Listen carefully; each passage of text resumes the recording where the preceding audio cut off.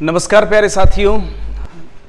भारत के सबसे बड़े तेज़ी से ऑनलाइन उभरते प्लेटफॉर्म वैसे उभरते क्या उभर चुका है बहुत बड़े लेवल पर।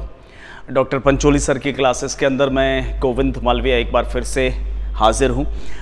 साथियों पढ़ते पढ़ते हमें ये नहीं भूलना चाहिए कि हम कंपटीशन एग्ज़ाम की तैयारी कर रहे हैं। और कंपटीशन में जो चीज़ वेटेज की है, वो मैं वेटेज से बता रहा हूँ और जो चीज़ ऊपर से पढ़नी चाहिए, वो ऊपर से बता रहा हूँ। जैसा कि कल मैंने आपको जो है बैटल ऑफ़ हल्दी घाटी के बारे में बताया तो आज उसी से संबंधित बहुत सारी चीज़ें हैं जो कल लिखवानी बाकी रह गई थी, उसके बारे में भी हम बात करेंगे। ब्रीफ में थोड़ा सा ब्रीफिंग कर दूँ इस युद्ध को लेकर। तो आप जानते होंगे कि हम आर एस प्री एग्ज़ाम के एडवांस में तैयारी कर रहे हैं 2023 को लेकर। हालाँकि एडवांस में तैयारी करना समझदारी है। तो क्योंकि हमें एक सही वक्त मिल जाता है तो इसी खातिर हम एक बार फिर से आर एस प्री के पॉइंट ऑफ़ व्यू से हम मेवाड़ के इतिहास की चर्चा करना चाहते हैं, जिसमें हमने लास्ट क्लास के अंदर महाराणा संग्राम, महाराणा प्रताप सिंह जी के बारे में चर्चाएँ की थी। महाराणा प्रताप सिंह आप तो जानते हैं, आप क्या पूरी दुनिया जानती हैं कि वे कौन हैं? प्रातः स्मरणीय महाराणा प्रताप सिंह जी के संबंधित हमने बहुत कुछ जाना था। जैसे कि आप जानते हो कि उनके बड़े भाई, उनके छोटे भाई जगमाल सिंह को उत्तराधिकारी बनाने की कोशिश की गई थी, लेकिन सरदारों ने उनका साथ दिया। उन्होंने अपने तिलक समारोह के अंदर जो है, वह घोषणा की थी कि जब तक मेवाड़ को मुक्त नहीं करवा लेते, तब तक थाली में भोजन नहीं करेंगे, रेस में बिछौनों पर नहीं सोएँगे। और इसी खातिर राणा प्रताप सिंह जी ने जो हैं, उनको मनाने के लिए अकबर ने चार दूत भेजे थे। उन चारों दूतों में से जो मानसिंह कछवा के साथ में मेवाड़ी सरदारों की मुलाकात हुई थी, और वही मुलाकात जो है, काफ़ी भारी पड़ी थी। तो इसी सिलसिले में एक बहुत महाविनाशकारी युद्ध हुआ था, जिसे हम बैटल ऑफ़ हल्दी घाटी या हल्दी घाटी का युद्ध कह सकते हैं हम। और उस हल्दी घाटी के युद्ध की एक एक बारीकी जो है, मैंने अपनी पूरी मेहनत के साथ में आपको 1576 वाले इस युद्ध के बारे में बताई थी, जिसकी शुरुआत खमनोर से होती है। और खमनोर से होते होते ये युद्ध जो है, अपने अंतिम पड़ाव में रक्त तलाई और रक्त तलाई के बाद में हल्दी घाटी की तरफ़ प्रस्थान करता है। इस युद्ध के अंदर आपने ये नोटिस किया कि हरावल दस्ते में मौजूद कृष्णदास चुंडावत साहब जो हैं, जो कि सलुम्बर के ठाकुर साहब थे, वह लड़ते हुए वीरगति को प्राप्त हुए, साथ में पठान हकीम खा सूर्य वीर गति को प्राप्त हुए एक एक करके सारे मेवाड़ी सरदार और योद्धा जो हैं, यहाँ पर वीर गति को प्राप्त हुए थे। और, राणा प्रताप सिंह जी जब युद्ध के अंतिम पड़ाव के समय जब वो युद्ध क्षेत्र में उतरे तो उन्होंने अपने घोड़े चेतक के माध्यम से एक ही वार में जो है, वह हवा में ही लहराते हुए उन्होंने अपना घोड़ा चढ़ा दिया था पाँच हाथियों के ऊपर और पाँचों हाथियों को छलांग लगाते वक्त राणा प्रताप ने तलवार के एक ही वार से अलवर के जो पाँच पीर ज़्यादा उन हाथियों पर बैठे हुए थे, उनके मस्तक धड़ से अलग कर दिए। साथ ही साथ एक ही तलवार के वार से हाथी समान शरीर वाले बहलोल खान नाम के हबसी को उन्होंने परलोक भेज दिया था। हबसी कहा जाता है, कसाई को। तो बहलोल खान नाम के हबसी, जिसका आतंक बहुत ज़बरदस्त था, बहलोल खान का, उस बहलोल खान को परलोक भेज दिया था, तलवार के एक ही वार से घोड़े समेत काट दिया था। ऐसे थे हमारे एकलिंगनाथ के दीवान प्रताप सिंह। जब अंतिम क्षणों में उन्होंने अपना घोड़ा जो है, वह मानसिंह के मर्दाना हाथी पर चढ़ाया अपना चेतक तो ऐसे वक्त में मर्दाना हाथी की सुन में बंधे खंजर से जो है, चेतक का पाँव कट गया था और उसके बाद में उनकी जगह पर लड़ाई की थी, जो है, बड़ी सादड़ी के ठाकुर झाला मानसिंह जी ने और झाला मानसिंह भी लड़ते लड़ते वीर गति को प्राप्त हो गए और उसके बाद में, उसके बाद में एक और लड़ाई अब जारी रहेगी और वो लड़ाई जो है, वह जारी निश्चित तौर पे रहने वाली है। क्योंकि आप अच्छी तरह से जानते हो कि हल्दी घाटी युद्ध में दोनों ही पक्ष जो चाहते थे वो नहीं हो पाया। यानी अकबर चाहते थे कि राणा प्रताप सिंह अधीन कर लिए जाए या युद्ध क्षेत्र में मारे जाएँ, और महाराणा प्रताप चाहते थे कि इस युद्ध के ज़रिए वे मेवाड़ को मुक्त करवा ले। लेकिन दोनों ही पक्ष इस कार्य में नहीं पूर्ण कर पाए। यानी लड़ाई तो जारी है, खत्म होने का नाम नहीं लेगी। चलिए, इस लड़ाई के बाद क्या होता है? यह हमारे लिए जानना ज़रूरी है। देखिए साथी, मैंने आपको यह भी बताया था कि हल्दी घाटी युद्ध के पश्चात में राणा प्रताप जो है, वह बलीचा गाँव पहुँचे थे। बलीचा गाँव वर्तमान में खमनोर,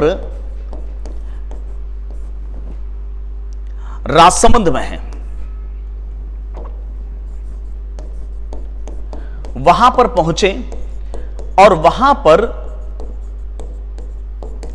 चेतक का प्राणांत हुआ था। चेतक की समाधि अगर पूछी जाए तो आप बहलोल सॉरी चेतक की समाधि पूछी जाए तो आप बलीचा आंसर दे सकते हो, क्योंकि एक महान घोड़ा है, प्रसिद्ध घोड़ा है तो निश्चित तौर पर यहाँ से सवाल बन सकता है। मेन उद्देश्य आप भूलिएगा मत, हमारा मेन उद्देश्य एग्ज़ाम करेक्ट करना तो ऐसे ही कुछ पॉइंट्स हम निकालेंगे और उसी के आधार पर हम कंपटीशन करेक्ट करने की कोशिश करेंगे। अगर ब्रीफ में और बताऊँ तो बलीचा से राणा प्रताप जो है, आवरगढ़ पहुँच गए थे। थोड़ा सा आगे वाले पेज में लिख लेता हूँ मैं। देखिए, राणा प्रताप जो है, हल्दी घाटी के बाद में कहाँ पहुँचे? बलीछा बलीछा से राणा प्रताप जो है, आवरगढ़ पहुँचे। ये आवरगढ़ वर्तमान में झाडोल के पास में उदयपुर ज़िले के अंदर मौजूद है। यहाँ पर एक शिव मंदिर भी इन्होंने बनाया था। लगभग चार महीने तक वे आवरगढ़ में रुके रहे, चार माह तक। उसके बाद में वहाँ से आवरगढ़ से राणा प्रताप जो है, वे आ गए थे मायरा की गुफा में। मायरा की गुफा में लगभग उन्होंने चार वर्ष बिताए। और मायरा की गुफा के बाद में राणा प्रताप का नेक्स्ट जो ठिकाना था, वह था छप्पन के जंगल। ये छप्पन के जंगल जो है वर्तमान में प्रतापगढ़ वाला क्षेत्र कहलाता है। यहाँ पर भी लगभग दो से तीन साल उन्होंने गुजारे थे। मायरा की गुफा वर्तमान राजसमंद में है। यह गुफा कैसी है, मैं आपको इसके बारे में बताऊँगा ज़रूर। राजसमंद ज़िले के अंदर है। इस गुफा का एक मुख जो है, वह राजसमंद हल्दी घाटी की तरफ़ खुलता है और दूसरा मुख जो है, वह वर्तमान में नाथ द्वारा की तरफ़ खुलता है और ये अंदर से पूरा अरावली पहाड़ खोखला है। कहते हैं किवदंतियों के अनुसार कि इस गुफा का एक द्वार ठेठ अजमेर जाकर खुलता है। आप अंदाज़ा लगा सकते हैं ये गुफा कितनी भयानक है। इस मायरा की गुफा में राणा प्रताप का शस्त्रागार भी था। इस मायरा की गुफा के अंदर राणा प्रताप, मैं खुद जा चुका हूँ इस मायरा गुफा के द्वार तक। हालाँकि अंदर जाने की न तो परमिशन है, न हिम्मत होती है किसी की भी। अंदर एक छोटा सा हिंगलाज माता का मंदिर है। उस मंदिर के अंदर हमेशा एक दिया टिमटिमाता है। दस फीट की दूरी से अंधेरा शुरू हो जाता है गुप अंधेरा, खतरनाक वाला। ठीक है? उसके बाद में छप्पन के जंगलों में राणा प्रताप आए और छप्पन के जंगलों से राणा प्रताप का नेक्स्ट जो ठिकाना रहा, वह रहा था जावर गुफा। ये जावर गुफा वर्तमान में जावर माइंस के पास में है। वर्तमान जो नेशनल हाईवे है, अहमदाबाद वाला, उदयपुर अहमदाबाद वाला, उसमें लगभग ये चार वर्ष तक रुके रहे। इस जावर गुफा को भी मैं देख चुका हूँ। इसी में राणा प्रताप जो है, हमेशा शिवजी की तपस्या में लीन रहते थे। यहाँ पर एक बड़ा खंडित शिवलिंग भी है, जिसकी पूजा राणा प्रताप किया करते थे। इस जावर गुफा के अंदर आप कम से कम सौ लोग बैठ सकते हैं।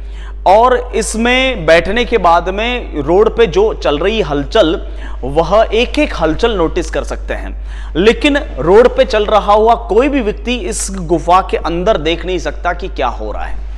तो ऐसे ठिकाने राणा प्रताप ने बना रखे थे। जावर गुफा के बाद में उनका नेक्स्ट जो पड़ाव रहा, वे सीधा आ गए थे चावंड में। और अपना अंतिम समय जो है, वह चावंड में बिताया। और उसके बाद में वे स्वर्गवासी हो गए थे। ठीक है? तो आप राणा प्रताप के ये ठिकाने लिख सकते हैं। सबसे पहले कुंबलगढ़ कुंबलगढ़ से हल्दी घाटी और हल्दी घाटी से बलीचा बलीचा से आवरगढ़ आवरगढ़ से मायरा की गुफा और मायरा की गुफा के बाद छप्पन के जंगल और छप्पन के जंगल के बाद में जावर गुफा और जावर गुफा से चावंड। ठीक है? तो एक बार इसको स्क्रीनशॉट ले लीजिए या नोट कर लीजिए एग्ज़ाम में काम आ सकता है।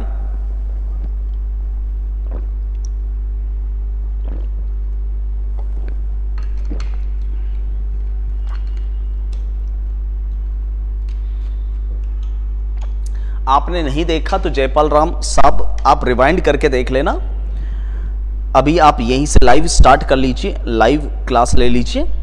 वैसे समझ में आ जाएगा, भले लेट आए तो कोई बात नहीं। वैसे क्लास टेक्निकली इश्यू की वजह से लेट ही हुई है। ठीक है? स्टार्ट और यार ये क्या है? एक सौ चौहत्तर लाइव मज़ा नहीं आ रहा है। और लाइक हैं सिर्फ़ छियालीस फोर्टी सिक्स मैं इतनी मेहनत आप लोगों के लिए करता हूँ, इतना गला फाड़ता हूँ, आप इतना भी नहीं कर सकते मेरे लिए। मुझे 174 के पीछे एक ज़ीरो और चाहिए। कम से कम। चले, उम्मीद करता हूँ आपने समझ लिया होगा। देखिए साथियों, अब मैं एक चीज़ आपको बताने जा रहा हूँ, उस चीज़ को आप ध्यान से समझना, तब जाके आगे वाली हिस्ट्री आपको समझ में आ पाएगी। देखिए, राणा प्रताप सिंह जी जो है, वह हल्दी घाटी के बाद बलीचा पहुँचे और उसके बाद में आवरगढ़ पहुँचे। इस आवरगढ़ के अंदर उन्होंने अपने घायल सैनिकों का इलाज करवाया और इलाज करवाने के बाद में वे मायरा की गुफा में अपने परिवार को लेकर आ गए। ठीक है? देखिए, मैंने आपसे जाते जाते यह भी कहा था कि जलालुद्दीन मोहम्मद अकबर जो है, वह जीद, जिद नहीं छोड़ सकता। आपको भी बताएँ कि जलालुद्दीन मोहम्मद अकबर का एक ही एजेंडा था, किसी भी सूरत हाल में राणा प्रताप को झुकाना, उन्हें अधीन करना। तो क्या जलालुद्दीन मोहम्मद अकबर अपनी जिद छोड़ देंगे? कतई नहीं।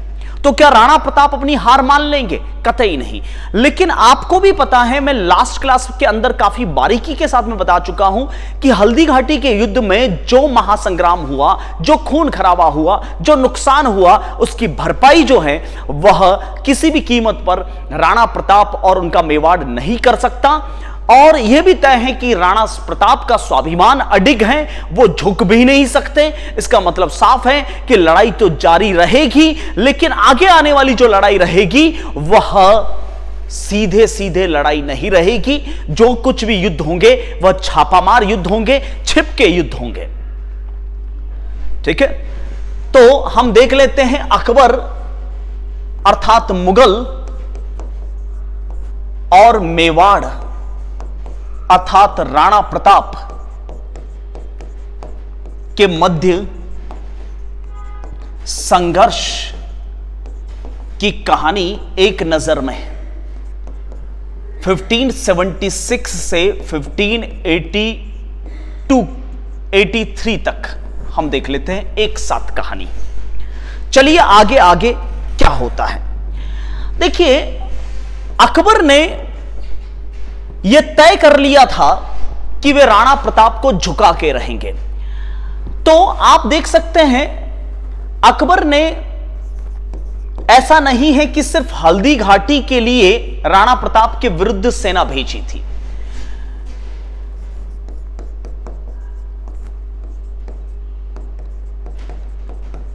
ऐसा नहीं है कि सिर्फ़ हल्दी घाटी के बाद में अकबर शांत पड़ जाएगा। युद्ध जारी रहेगा। साथियों 1576 1576 जून महीने में 18 जून 1576 में आप जानते हो कि राणा प्रताप को गिरफ़्तार करने के लिए, उन्हें अधीन करने के लिए अकबर ने करीब पिचासी हज़ार की फौज भेजी थी मानसिंह कछवाहा के नेतृत्व में।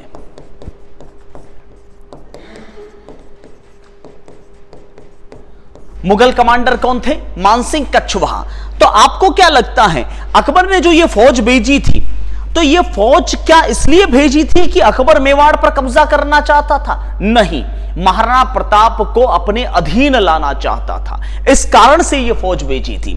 यानी महाराणा प्रताप के विरुद्ध जो सैनिक अभियान हुए हैं वह सारे के सारे उन्हीं के लिए हुए हैं, उनको अधीन बनाने के लिए हुए हैं। तो ऐसे सैनिक अभियान जारी रहेंगे। यह भी हल्दी घाटी एक सैनिक अभियान ही था, युद्ध नहीं था। मुगलों की ओर से एक सैनिक अभियान था महाराणा प्रताप को गिरफ़्तार करने के लिए। इसको युद्ध में तब्दील किया मेवाड़ियों ने। समझ गए ना?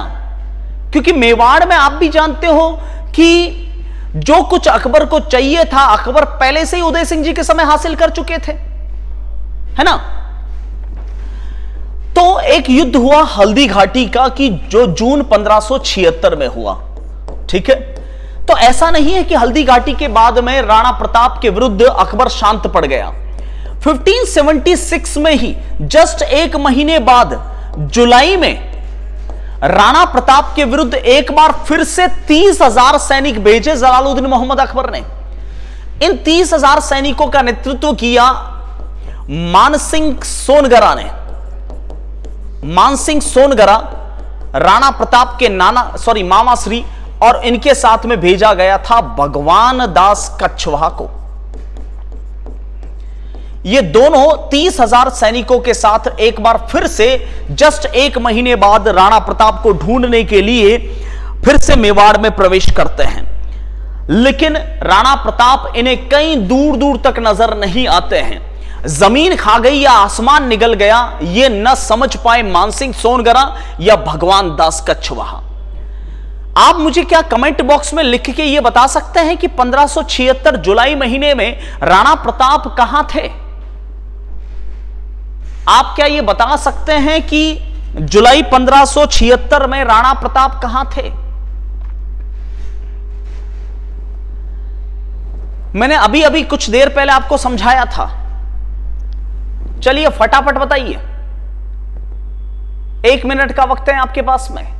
जुलाई 1576 में राणा प्रताप के विरुद्ध जब मानसिंह सोनगरा और भगवान दास कछवा के नेतृत्व में अकबर ने तीस हज़ार सैनिक भेजे थे उन्हें ढूँढने के लिए, उस समय राणा प्रताप कहाँ थे? सवाल मेरा समझ गए होंगे। अरे भाई, मैंने अभी अभी तो समझाया था, अब ध्यान कहाँ देते हो? राणा प्रताप हल्दी घाटी के बाद में कहा गए थे? आवरगढ़। और यहाँ पर कितने समय तक रुकेंगे? चार महीने तक। तो राणा प्रताप उस समय कहाँ थे? आवरगढ़ में थे। और ये आवरगढ़ मैंने अपनी आँखों से देखा है। आज भी यहाँ पर किसी भी प्रकार का मोबाइल नेटवर्क काम नहीं करता। जो है बड़े बड़े पत्थर हैं, नुकीले पत्थर हैं। ठीक है? और उस नुकीले पत्थरों की आपस में टकराने से चिंगारियाँ भी उत्पन्न होती हैं और बहुत ही भयानक एरिया है ये। ठीक है साहब? उसके बाद में ऐसा नहीं है कि राणा प्रताप को गिरफ़्तार करने के लिए जलालुद्दीन ने जिद छोड़ दी। मानसिंह सोनगरा और भगवान दास कछुआ भी अपने तीस हज़ार सैनिकों के साथ में मुँह लटका के वापस लौट गए क्योंकि प्रताप उन्हें कहीं नज़र नहीं आए। उसके पश्चात में 1576 नवंबर महीने में जलालुद्दीन मोहम्मद अकबर ने तय किया, सॉरी, सितंबर में जलालुद्दीन मोहम्मद अकबर ने तय किया कि अगर राणा प्रताप को गिरफ़्तार करना है तो हमें परमानेंट मेवाड़ में ही रुकना पड़ेगा। परमानेंटली मेवाड़ में ही रुकना पड़ेगा। इसलिए जलालुद्दीन मोहम्मद अकबर ने परमानेंटली मेवाड़ में 33 थाने बिठा दिए। जिसे मुगल छावनियाँ कह सकते हैं। और उन 33 थानों में, उन 33 थानों के अंदर 33 छावनियों के अंदर पाँच छावनियाँ प्रमुख थी, और उन प्रमुख छावनियों के अंदर एक थी आपकी दिवेर, एक थी आपकी दिलवाड़ा, एक थी देसुरी एक थी मांडलगढ़ और एक थी जो है, वह थी गोगुंदा। ये पाँच छावनियाँ प्रमुख थी। इन पाँच, तैतीस में से भी पाँच छावनियाँ प्रमुख थी और तैतीस परमानेंट आदमी बिठा दिए थे वहाँ पर। ठीक है? परमानेंट आदमी बिठा दिए थे और उन तैतीस छावनियों का जो हेड बनाया गया था, वह बनाया गया था तहवुर खान मनौती को। यह तहवुर खान मनौती जो है यह भी अबिसीनिया का एक हबसी था, कसाई था। और यह तहवुर खान मनौती जो है ना, वास्तव में मनौती नहीं था। राणा प्रताप के लिए एक पनौती था। और इसको बिठाया था चित्तौड़ में। और इन सारी छावनियों का हेड बनाया गया था इसे। और यह तहवुर खान मनोती इतना खौफनाक था, बिल्कुल बहलोल खान का दूसरा अवतार। जानबूझ के चुन चुन के बंदों को बिठा रखा था अकबर ने। ताकि आप देख सकते हैं यह भी नरबक्षी था। भाई साहब, ये इतना खतरनाक था कि ये भी इंसान को मरोड़ के मार दे अपनी बाहों में। इसको हथियार की ज़रूरत ही नहीं पड़ती थी। इसको चित्तौड़ में कमांडर बनाया गया और ये 33 स्थानों पर नज़र रख रहा था। परमानेंटली सारे मोर्चे बंद कर दिए अकबर ने कि ये आप भी जानते हो, मेवाड़ में प्रवेश करने के मार्ग हैं दिवेर, दिलवाड़ा, देसूरी, मांडलगढ़ और गोगुंदा। ठीक है? इनमें बिठा दिया गया तहवुर खान मनोती को। और वास्तव में यह बहुत खौफनाक था। इतना सब कुछ करने के बाद में जलालुद्दीन मोहम्मद अकबर जो है, वह हज की यात्रा को निकल गए थे। ऐसा आईने अकबर अकबरी अकबरनामा के लेखक अबुल फजल ने लिखा है कि वे हज करने को चले गए थे।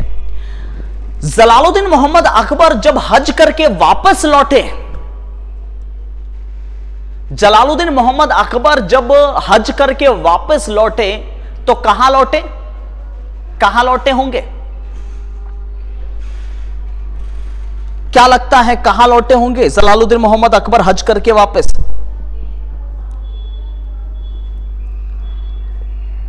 जलालुद्दीन मोहम्मद अकबर जो है, हज करके करीब करीब नवंबर 1576 में वापस लौटे। और सीधा सूरत गए, क्योंकि फ़्लाइट लेके नहीं आ रहे हैं। उस जमाने में जहाज़ थे। और आईने अकबरी अकबरनामा का लेखक अबुल फजल लिखता है कि जलालुद्दीन हमारे आलम पना जब हज करके वापस सूरत आए थे, तब सूरत में, जब सूरत बंदरगाह पर उतरे थे गुजरात में, तब उनका स्वागत करने के लिए एक बहुत विशाल शाही मुगल फौज गई हुई थी। उनका स्वागत करने के लिए। और उन्होंने सूरत बंदरगाह पर पहला कदम रखा।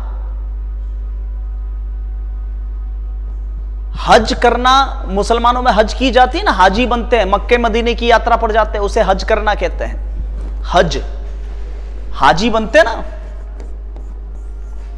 मदीने की यात्रा करना, शहर मदीना, मक्का मदीना जाना। ठीक है?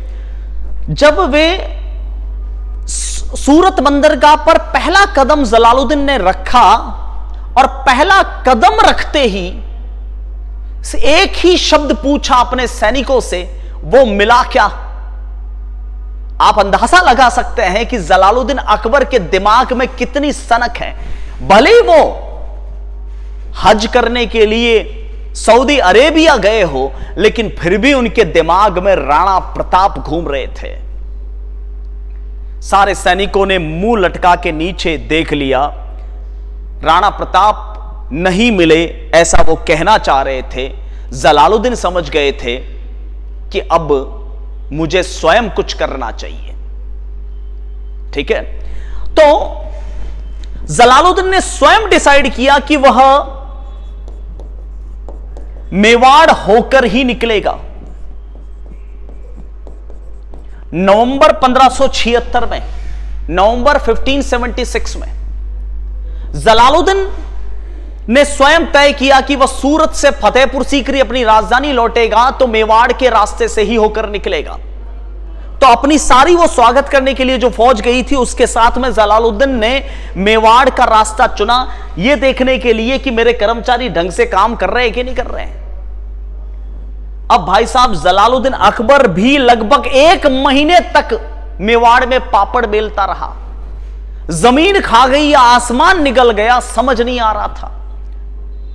आखिरकार थक हार कर जलालुद्दीन जो है, गुस्से से, जलालुद्दीन जो है, गुस्से से उदयपुर शहर को आग लगा लेता है।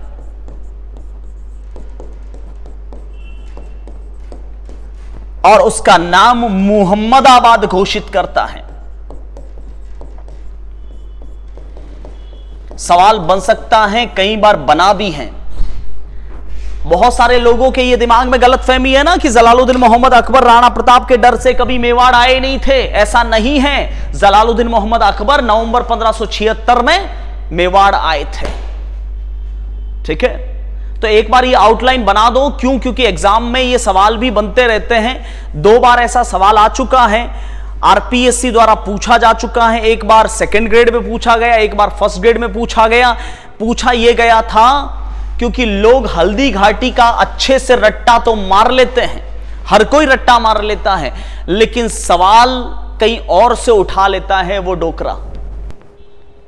जैसे उन्होंने लास्ट टाइम सवाल पूछा कि ऐसा कौन सा मुगल सेनापति जिसने मेवाड़ पर तीन बार हमले किए? तो आंसर था शहबाज खान।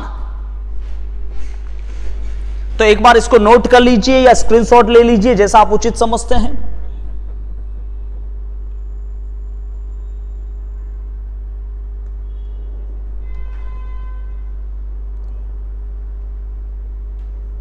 उम्मीद करता हूँ आपने इसका स्क्रीनशॉट ले लिया होगा।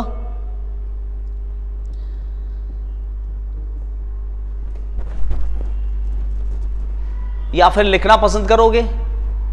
आप कह रहे हो नोट्स बनवाने हैं हमारे सर तो नोट्स शॉर्ट नोट्स होते हैं, ठीक है?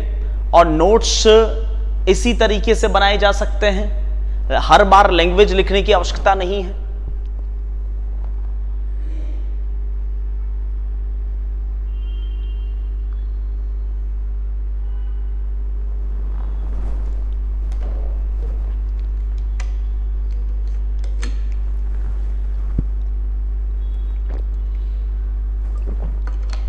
अब आपसी लड़ाइयाँ मत करो और लिख लो या स्क्रीनशॉट ले लो।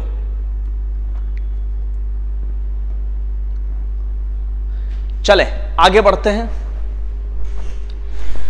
देखिए, नवंबर 1576 में, देखिए मैंने कहा था एग्ज़ाम में एक्शन का रिएक्शन होता है, प्रश्न बन, देख के प्रश्न बनाया जाता है।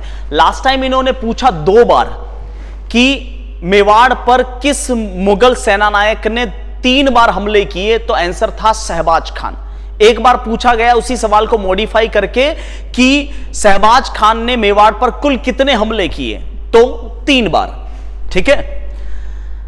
देखिए, जलालुद्दीन मोहम्मद अकबर जब स्वयं पापड़ बेल के परेशान होकर फतेहपुर सीकरी चले गए, क्योंकि उन्हें भी कामयाब नहीं मिली, उस समय राणा प्रताप जो है, वह लगभग जाव मायरा की गुफा में मौजूद थे। बेचारे जलालुद्दीन मोहम्मद अकबर थक हार कर फतेहपुर सीकरी के दीवान खास में अपने मंत्रियों के साथ, अपने दरबारी नवरत्नों के साथ में भारी वाली टेंशन में बैठे हुए हैं। अकबर का सबसे लंगोटिया यार है, जिसका नाम है अबुल फजल। सब नवरत्नों में से एक सबसे अज़ीज़ दोस्त आईने अकबरी में लिखता है अबुल फजल कि हमारे आलम पना बहुत ही परेशान थे, हज करके आए थे तब। और परेशानी के बहुत सारे कारण थे। पहला परेशानी का सबसे बड़ा कारण था अकबर की परेशानियाँ। अकबर की परेशानी का सबसे बड़ा कारण था कि राणा प्रताप जो है, वह मुगल थानों पर हमले बोलते थे छिपकर।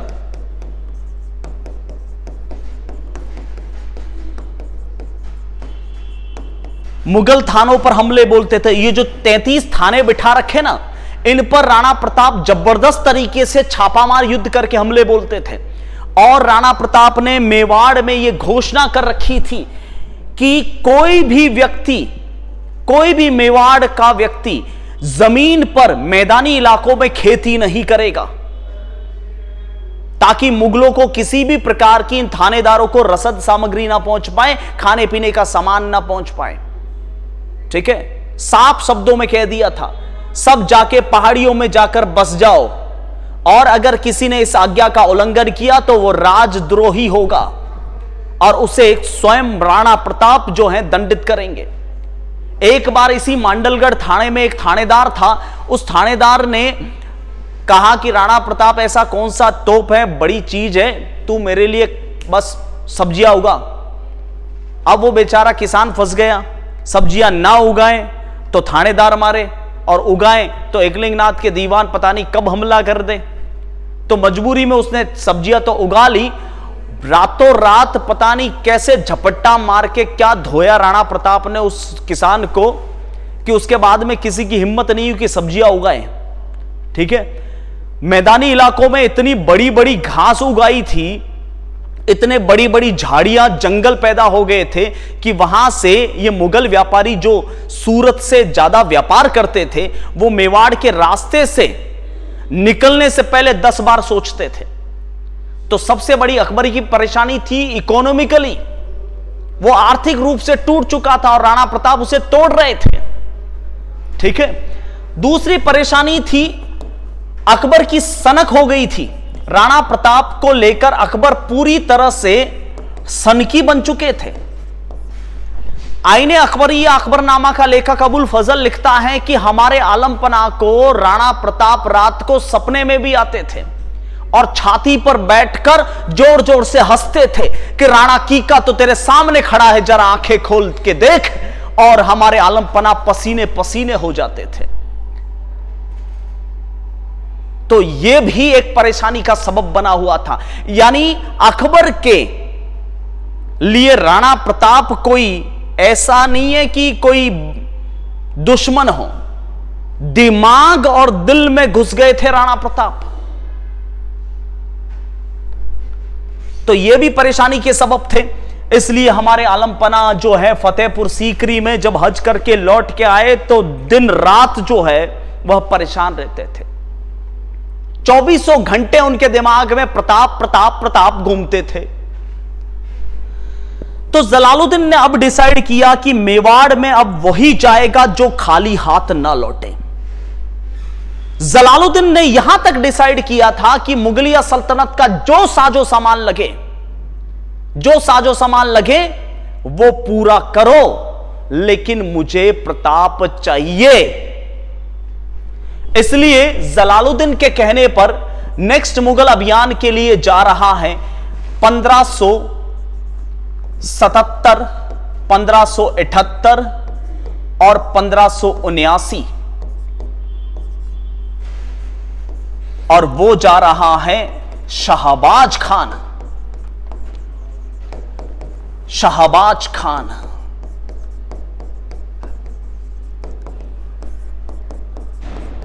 शहबाज खान अपने पूरे मुगल काफिले को लेकर लगातार तीन वर्षों तक मेवाड़ को त्रास देता रहा, मेवाड़ को परेशान करता रहा। मैंने भी जगह जगह घूम के देखे हैं। आज भी पहाड़ी अंचलों के अंदर बहुत सारे ऐसे मंदिर हैं जो लोकल लोग, पुराने बुज़ुर्ग बताते हैं कि ये मुगल फौज ने तोड़े थे।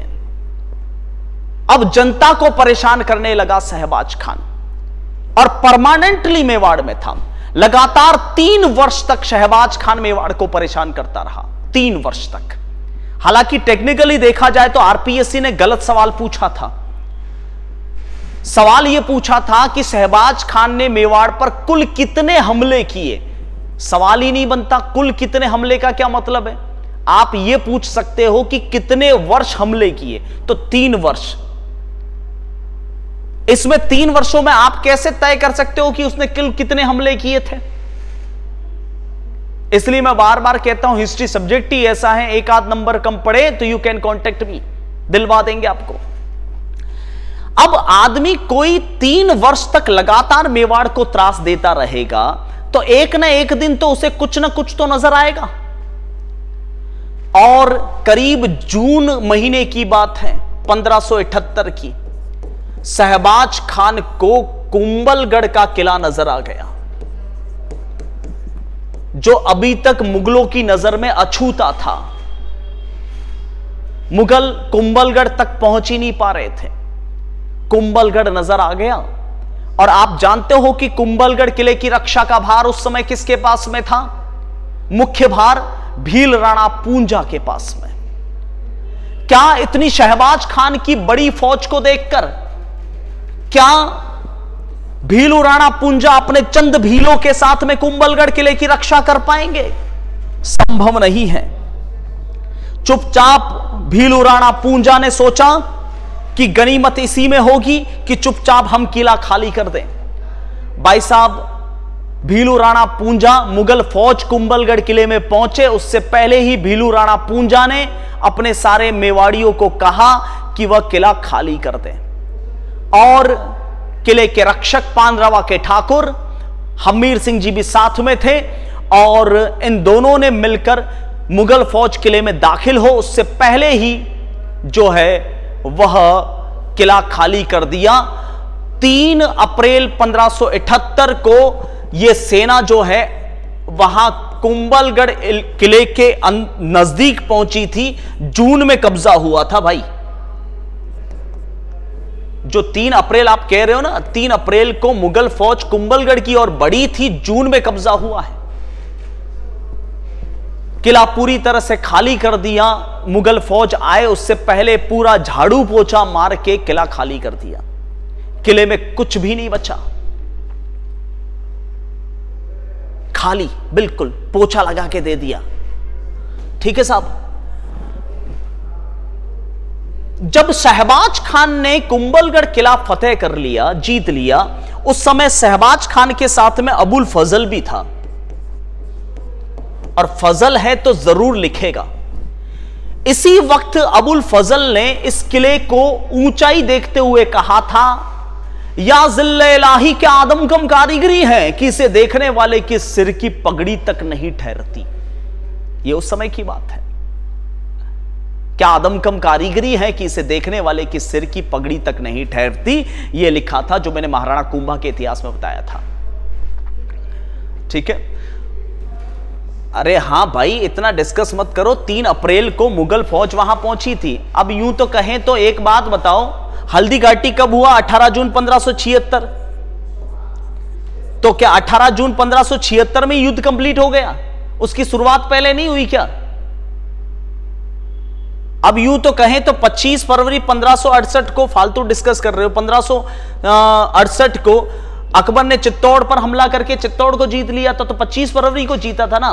तो अकबर तो रवाना तो सितम जनवरी में हो गया था 67 में। कोई फ़्लाइट से थोड़ी आ रहा है कि एकदम से उतर गए और सेम डे जीत लिया। प्रोसेस होती है। युद्ध है, मज़ाक नहीं है टाइम लगता है। ठीक है भाई?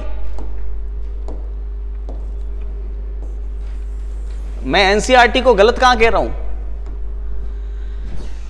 देखिए सहबाज खान ने कुंबलगढ़ किला फतेह कर लिया, ठीक है?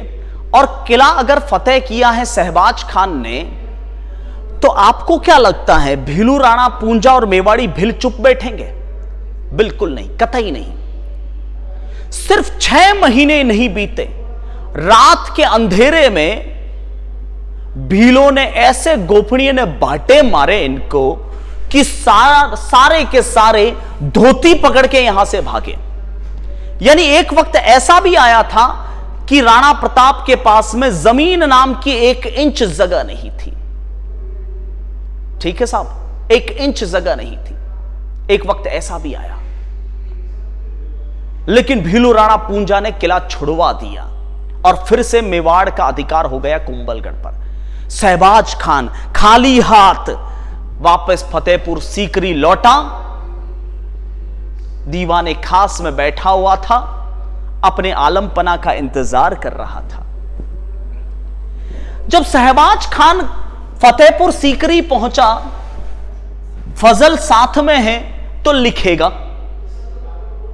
फजल लिखता है कि जब सहबाज खान फतेहपुर सीकरी पहुँचे थे तो उनके पास में मानसिंह कछवा भी बैठे हुए थे। मानसिंह कछवाहा भी बैठे हुए थे। क्या लगता है मानसिंह कछवाहा सहबाज खान के मज़े लेंगे? मज़े लेंगे? लिए, मज़े लिए, जोरदार मज़े लिए। मानसिक कछवा ने कहा, जनाब सहबाज खान मेवाड़ से पधारे हैं। फजल लिखता है। तो सहबाज खान का रिएक्शन क्या होगा? शहबाज खान ने कहा, खामोश, मान सिंह, तुम्हारी तरह नहीं हूँ, जो हल्दी घाटी के अंदर मुगलिया सल्तनत की किरकिरी करवा के आया कुंबलगढ़ का किला फतेह किया था कुंबलगढ़ का किला। तो मानसिंह ने फिर से मज़े लिए। मानसिंह ने कहा कि कुंभलगढ़ का किला फतेह किया तो जरा उसके पट्टे दिखाइए। जितने में जलालुद्दीन अकबर आई गए और जलालुद्दीन अकबर ने फजल लिखता है कि दोनों को फटकार लगाई, बहुत ज़बरदस्त तरीके से। उनका मुँह तक देखना नहीं चाहते थे वे। उसके बाद में, अब जलालुद्दीन बेचारे क्या करे यार, ये आदमी हत्या क्यों नहीं चढ़ रहा है? मेन समस्या क्या है? मुगल थानों पर हमले। मुगल थानों पर हमले। अब जलालुद्दीन ने डिसाइड किया कि अब कुछ भी हो जाए, जलालुद्दीन ने साफ़ शब्दों में कह दिया था, इसी दीवाने खास के अंदर फजल लिखता है कि जलालुद्दीन ने कहा कि पूरी मुगलिया सल्तनत की अब ईंट से ईंट बिक जाए, मुझे प्रताप चाहिए। मतलब प्रताप के खातिर जलालुद्दीन अकबर की सनक देखिए कि वे पूरी मुगलिया सल्तनत को दांव पर लगाना चाहते थे, लेकिन प्रताप उन्हें चाहिए। अब कौन जाएगा मेवाड़? तो ऐसे वक्त में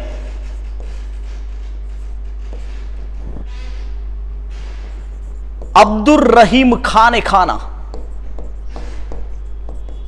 रहीम दास जी।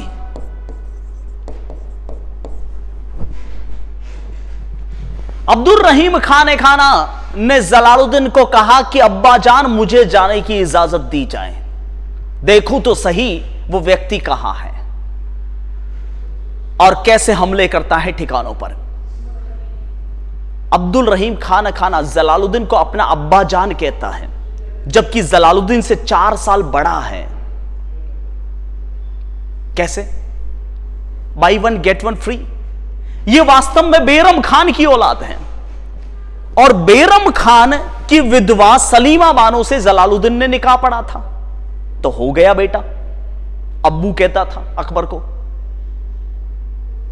वकील सल्तनत था, वज़ीर आला था। अब्दुल रहीम खाने खाना को जलालुद्दीन ने साफ़ शब्दों में कहा कि मुझे किसी भी कीमत पर प्रताप चाहिए मतलब चाहिए। कहने का तात्पर्य यह है कि या तो उसे पकड़ के ज़िंदा या मुर्दा, नहीं तो तू मत वापस मत लौटना। तो अब्दुल रहीम खाना खाना अब तक की सबसे विशाल मुगल फौज। अब वो फौज कितनी थी ये तो नहीं लिखा हुआ है, लेकिन अब तक की सबसे विशाल मुगल फौज लेकर जा रहा है फतेहपुर सीकरी से सीधा मेवाड़ की तरफ़। लगभग मेरे ख्याल से दो लाख के आसपास फौज थी खाने खाना द्वारा। अब तक की मुगलों की ओर से सबसे बड़ी कार्रवाई। खाने खाना अपनी फौज लेकर सीधा अजमेर तक आ चुके थे। हमला करने की तैयारियाँ चल रही थी। उस समय राणा प्रताप जो है, अपनी मायरा की गुफा में थे, अपने परिवार के साथ में। भारी वाली टेंशन में मायरा की गुफा में राणा प्रताप और उनका परिवार और पूरा मेवाड़, क्योंकि अच्छी तरह से जानते हैं राणा प्रताप कि अगर खाने खाना मेवाड़ पर टूट पड़ा तो ना तो मैं बचेगा, ना वाड़। पूरा तहस नहस कर डालेगा। मेवाड़ का हर एक बच्चा बच्चा डरा, सहमा महसूस कर रहा है कि कल का सूरज वो देख पाएँगे या नहीं। क्या करें? और राणा प्रताप की आर्थिक हालत की अगर मैं जहाँ तक बात करूँ ना तो आपने एक प्रसिद्ध लेखक कवि का नाम सुना होगा, कन्हैयालाल सेठिया। कन्हैयालाल सेठिया साहब ने एक पोइट्री लिखी है इस बारे में, इस हालात को लेकर। अरे घासरी रोटी ने बंद बिलावड़ो, ले भाग्यो नानो सो अमरियो बिलख पड़ियो। यानी अगर सेठिया साहब की बात माने तो मेवाड़ और उनका परिवार जो है, घास की रोटियाँ खाने को मजबूर है। अमर सिंह घास की रोटियाँ खाने को मजबूर है। वो प्रताप कैसे मेवाड़ की रक्षा करेंगे? कैसे करेंगे अक्षय जी बैरवा कैसे करेंगे? महाराणा प्रताप की समस्या सिर्फ़ खाने खाना नहीं है। सिर्फ़ खाने खाना नहीं है राणा प्रताप की समस्या। मायरा की गुफा में भी समस्या है उनके परिवार में भी। मायरा की गुफा में रोज बर्तन बजने की आवाज़ें आती हैं। औरतों का झगड़ा। औरतों का झगड़ा का मतलब सिर्फ़ यह नहीं है। इस औरतों का झगड़ा का मतलब कहने का मतलब मेरा यह नहीं है कि राणा प्रताप की पत्नी लड़ती थी या पत्नियाँ लड़ती थी। राणा प्रताप जी, सिंह जी की पत्नी तो सीता समान नारी थी, अजब दे पवार, और उनसे भी महान नारियाँ थी उनके साथ में। इसलिए इतना लंबा संघर्ष कर पाए। उनकी बहु रानी, अमर सिंह जी की पत्नी, क्या लड़ती थी, क्या लड़ती थी? लेकिन राणा प्रताप की पत्नियाँ जो है ना, एक बेटी समझकर उसे हमेशा माफ़ कर देती इंसान है ना, दुनिया से लड़ सकता है, लेकिन परिवार से टूट जाता है। एक दिन महाराणा प्रताप एक पत्थर पर बैठे हुए थे, भारी वाली टेंशन में थे खाने खाना के मेवाड़ पर आक्रमण को कैसे रोके? शायद ये उसी समय पाथल और पीथल लिखा गया कि राणा प्रताप ने एक चिट्ठी भेजी अकबर के पास में। और उस चिट्ठी को देखकर अकबर ने मूछों पर ताव लगाया कि देखो, मैंने उसको झुकाया, नहीं झुकाया।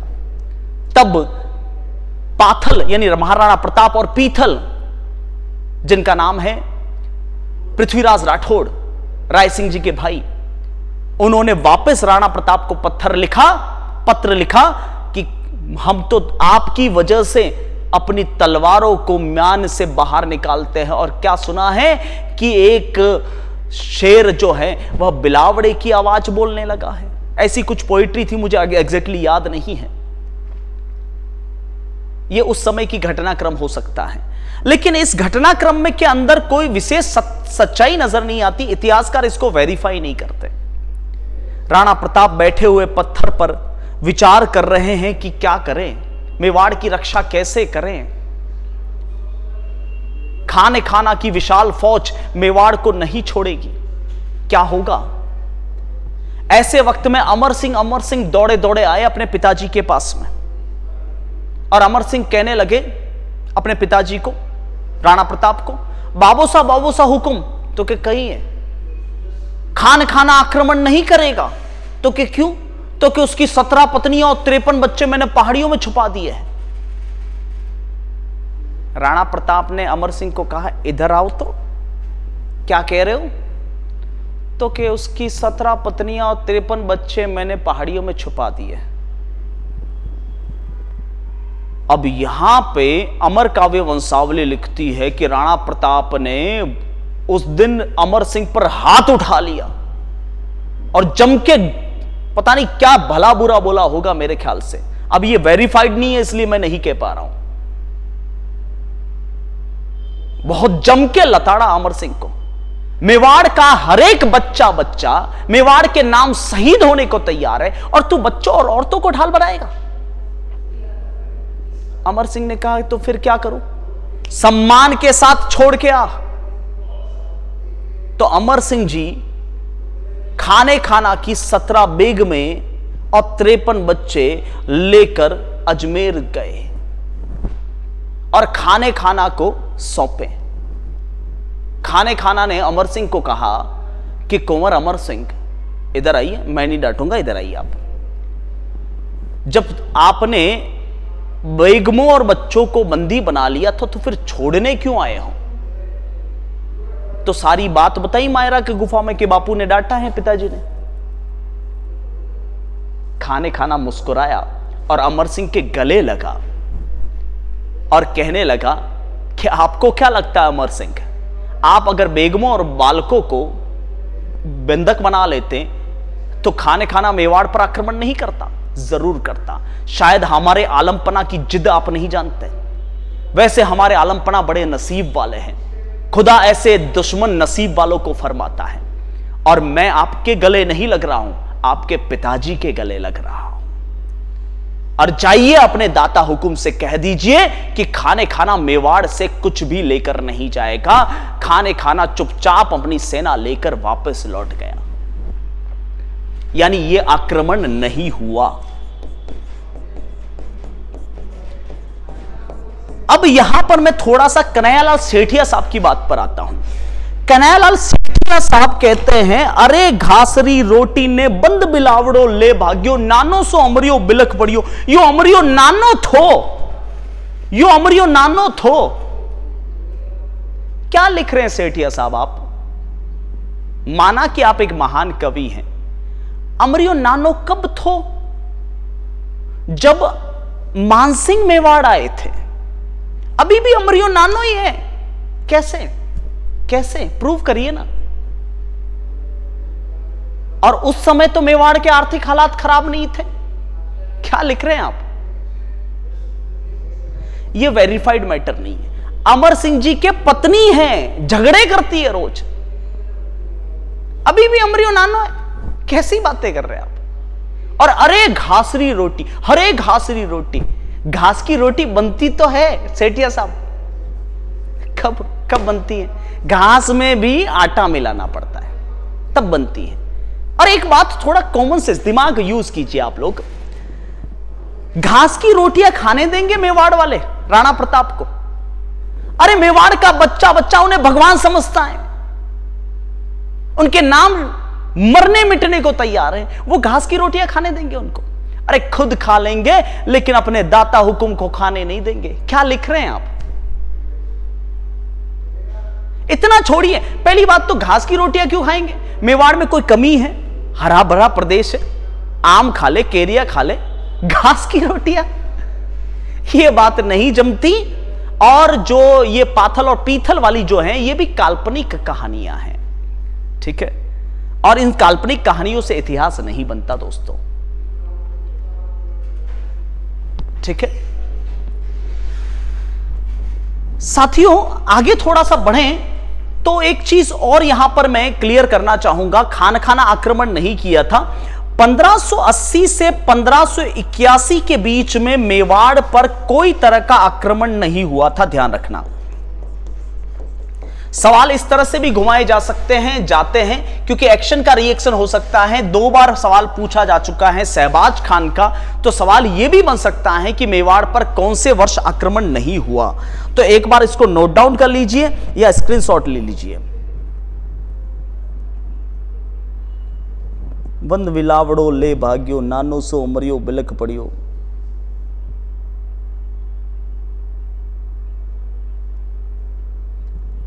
घास की रोटी तो इस समय कैसे खा सकते हैं आप? सोचिए ना। आर्थिक हालात तो मेवाड़ के अब जाके खराब हुए ना। पहले कौन से आर्थिक हालात खराब थे जो घास की रोटियाँ खाते थे?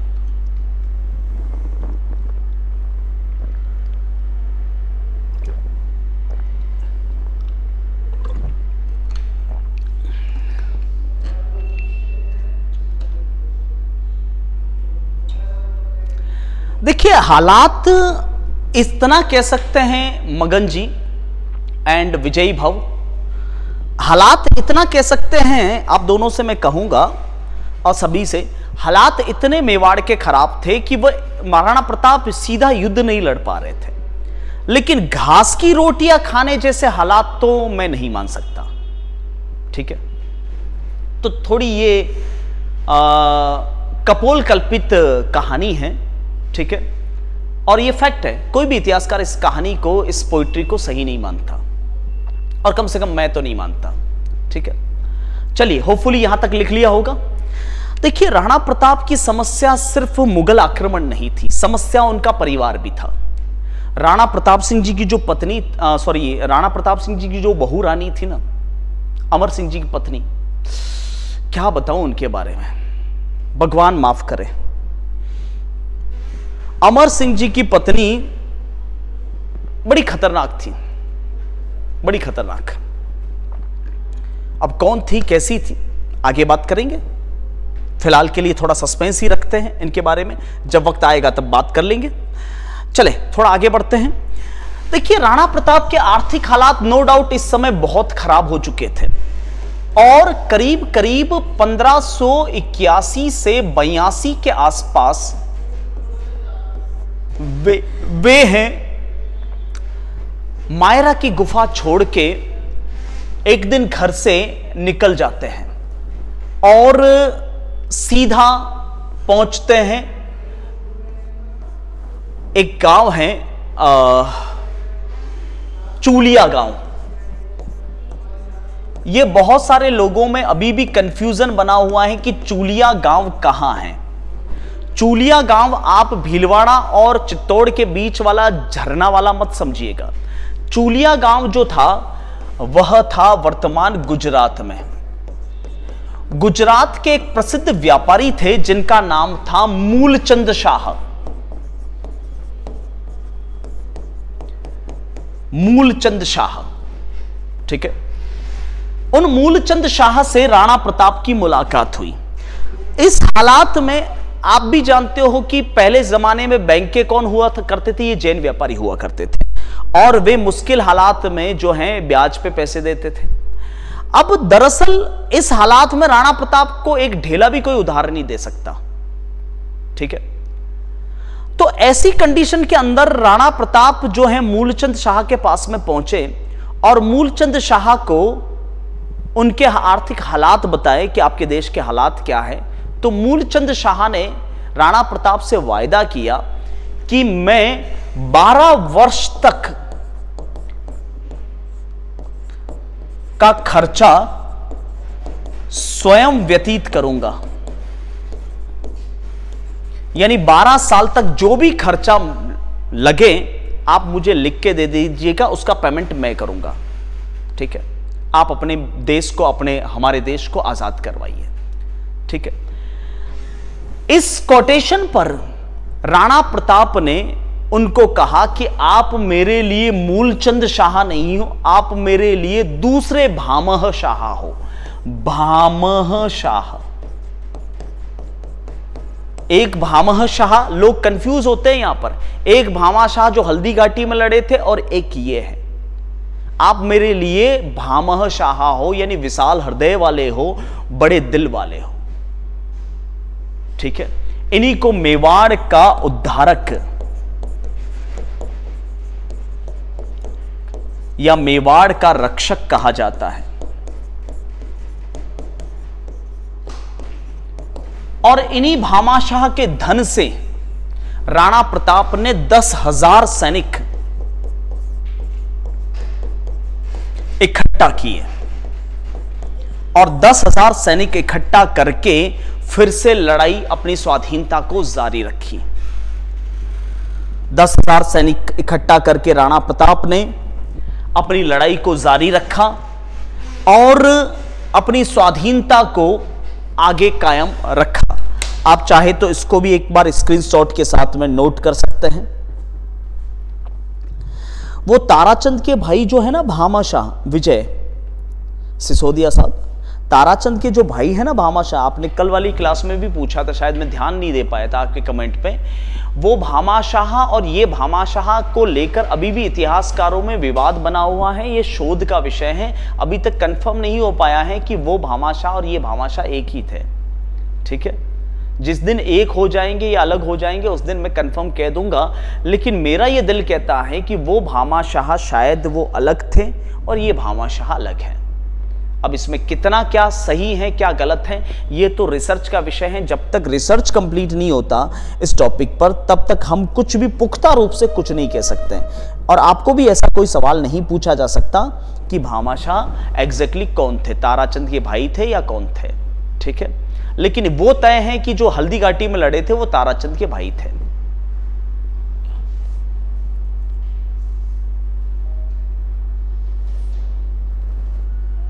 ठीक है?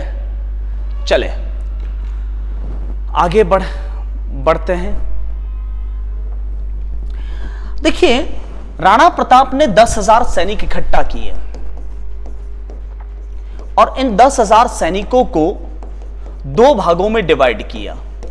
आधे सैनिक राणा प्रताप ने स्वयं के पास रखे और आधे सैनिक जो है अमर सिंह को दिए।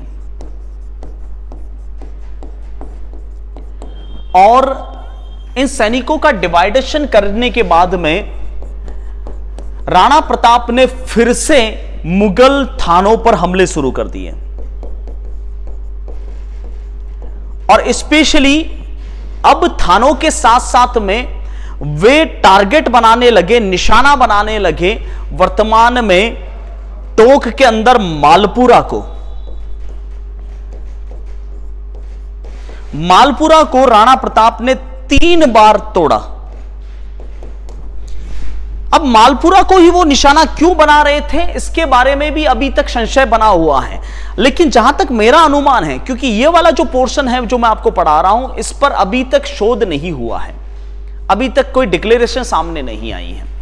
तो जहाँ तक मेरा अनुमान है, उन्होंने मालपुरा को इसलिए भी लूटा होगा इसलिए भी तोड़ा होगा, क्योंकि मालपुरा जो है, वह अमर सिंह वाला सॉरी मानसिंह जी वाला क्षेत्र है।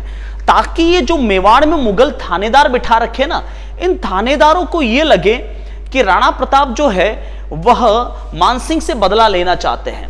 तो ये थानेदार जो अब तक महाराणा प्रताप को गिरफ़्तार करने की कोशिश कर रहे हैं ना, उनको पहली बार ये पता चले कि राणा प्रताप वहाँ है और ये उन्हें पकड़ने के लिए आगे बढ़े। तो ऐसा ही हुआ। जो दिवेर था ना, दिवेर दिवेर का जो थानेदार था, जिसका नाम था,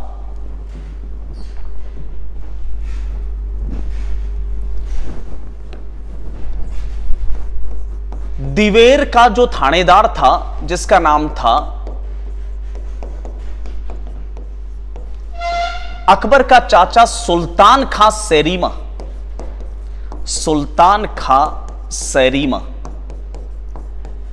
इस थानेदार को पता चला कि राणा प्रताप मालपुरा क्षेत्र में है तो तुरंत वो अपनी बटालियन लेकर राणा प्रताप को गिरफ़्तार करने के उद्देश्य से उधर से निकला। थोड़ा ही आगे बढ़ा था, जितने में करीब पाँच हज़ार सैनिक जो हैं, उसको सामने आते हुए दिखाई दिए। और वो पाँच हज़ार सैनिक कौन थे? अमर सिंह के नेतृत्व वाले। कुंवर अमर सिंह करीब 20-25 फीट दूरी पर थे सुल्तान खान से। और जितने में मालपुरा क्षेत्र का काम निपटाकर राणा प्रताप भी दिवेरा पहुँचे और यहाँ भयंकर लड़ाई हुई दोनों पक्षों के बीच में। और इस भयंकर लड़ाई के अंदर कहा यह जाता है कि मेवाड़ सेनापति उस समय दिवेर युद्ध में सेनापति मान सिंह सॉरी सेनापति जो है, अमर सिंह थे, ध्यान रखना। सेनापति अमर सिंह ने भाले का एक ही प्रहार किया सुल्तान खान पर, और सुल्तान खान के गले को चीरता हुआ भाला, घोड़े के अंदर से चीरता हुआ वो भाला सीधा ज़मीन में धस गया था, और सुल्तान खान वही स्टैच्यू बन गए थे। स्टैच्यू और इस तरह से दीवेर का युद्ध जीत लिया और इसी दीवेर के युद्ध को कर्नल जेम्स टॉड ने मेवाड़ का मैराथन कहा है। और इसी युद्ध के अंदर राणा प्रताप ने फिर फिर से जीत की शुरुआत की थी। ठीक है? ओके साहब, अक्टूबर पंद्रह की बात है। ये भी आप चाहे तो एक बार स्क्रीनशॉट अपने पास में रख सकते हैं। हाँ यस, मूर्ति बना दिया था स्टैच्यू बना दिया था सुल्तान खसैरीमा को, एक ही भाले के प्रहार से।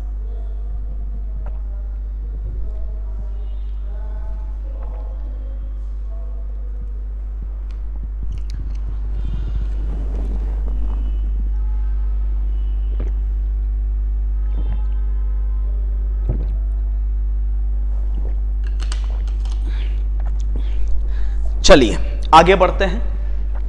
दिवेर जीतने के बाद में राणा प्रताप का जो नेक्स्ट मिशन था, वह सीधा सीधा चित्तौड़ था। बाकी थानों पर तो वे हमले करते ही थे। लेकिन दिक्कत यह थी कि चित्तौड़ में आप भी जानते हो, वो पनौती बैठा हुआ है। मनौती, पनौती, इतना आसान नहीं है। तो चित्तौड़ पर हमला करने से पहले राणा प्रताप का जो सामना है मांडलगढ़ में हो गया। और मांडलगढ़ में पंद्रह को एक और लड़ाई लड़ी गई, जो अंतिम मुगल मेवाड़ लड़ाई कहलाती है महाराणा प्रताप और अकबर के बीच की अंतिम लड़ाई कहलाती है। मांडलगढ़ में भगवान दास के छोटे भाई मानसिंह के चाचा जगन्नाथ या जगदीश कच्छवाहा।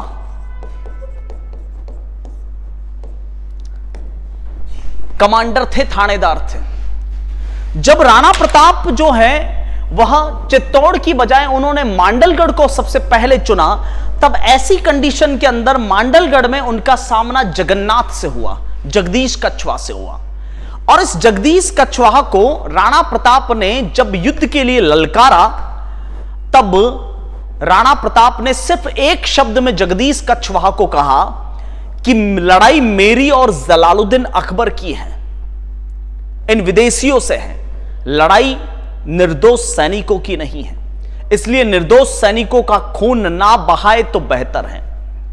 तो जगन्नाथ ने हँसते हुए राणा प्रताप का उपहास उड़ाया कि शायद पत्थरों में रहते रहते आपकी बुद्धि भी पत्थर जैसी हो चुकी है। आप जैसे लड़, व्यक्ति से लड़ने के लिए स्वयं आलमपना आएँगे आपके लिए तो मैं अकेला ही काफ़ी हूँ।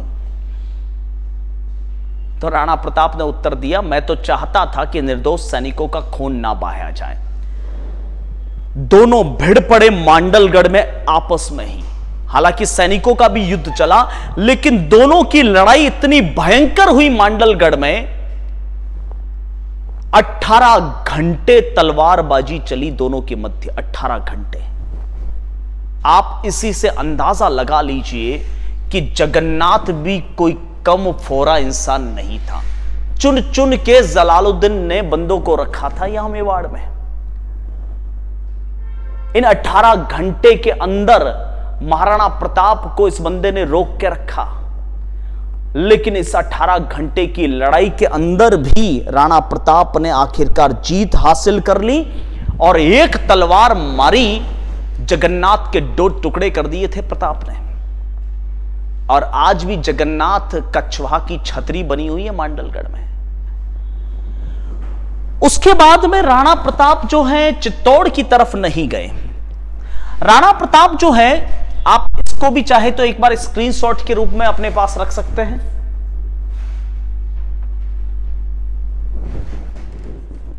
अंतिम संघर्ष।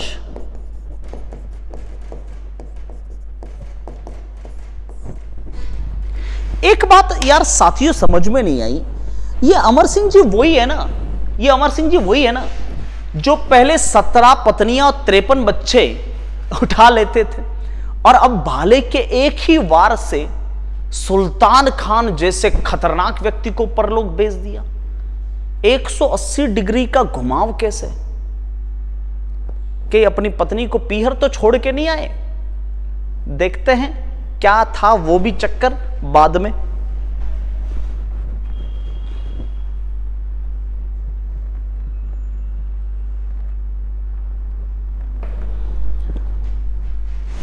ठीक है? तो भाई साहब, ये अंतिम संघर्ष है। उसके बाद में करीब करीब पंद्रह के आसपास चावंड में वर्तमान उदयपुर के अंदर है चावंड। हो सकता है आज की क्लास के बाद में हमारे गहलोत साहब घोषणा कर दे और चावंड सलूम्बर में चला जाए, लेकिन फ़िलहाल आज की डेट तक उदयपुर में है। ठीक है? जब मैं क्लास बना रहा हूँ। तो चावंड वर्तमान उदयपुर के अंदर एक व्यक्ति था जिसका नाम था रावत लूणा चावंडिया। यह लूटपाट करता था। तो चावंड की जनता ने आकर राणा प्रताप से गुजारिश की कि वो लूणा से हमें मुक्ति दिलवाए। तो राणा प्रताप चावंड आ गए और लूणा को यहाँ से भगाने में जनता का साथ दिया। और उसके बाद में राणा प्रताप जो है पंद्रह से अपने अंतिम समय तक, यानी पंद्रह तक चावंड में ही रहे। चावंड ही उनकी राजधानी रही।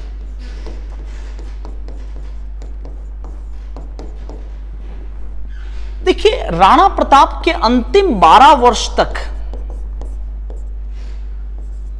अंतिम 12 वर्ष तक कोई भी हमला नहीं हुआ, अकबर की ओर से।